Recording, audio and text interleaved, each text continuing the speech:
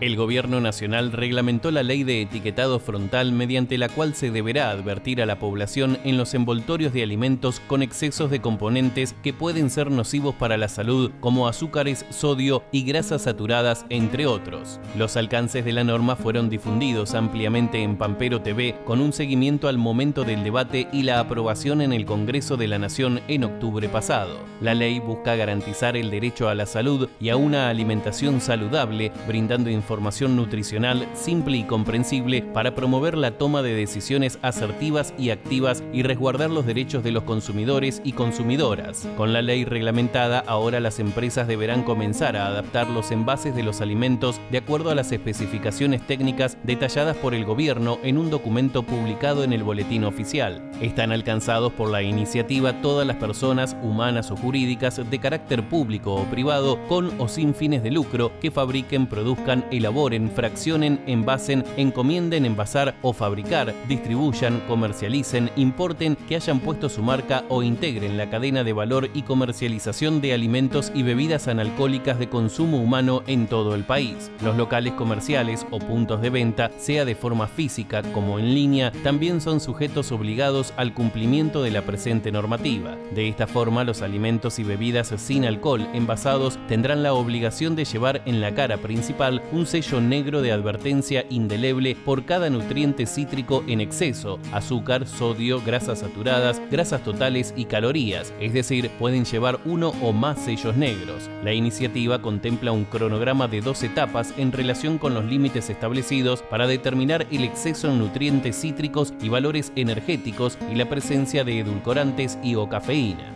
La primera dentro de los nueve meses desde la fecha de entrada en vigencia de la ley y 15 meses para las pequeñas y medianas empresas, mientras que la segunda etapa establece un plazo no mayor a los 18 meses desde su entrada en vigencia y de 24 para las pymes. La normativa contempla que no están obligados a tener el sello de advertencia en la cara principal, el azúcar común, aceites vegetales, frutos secos y sal común de mesa.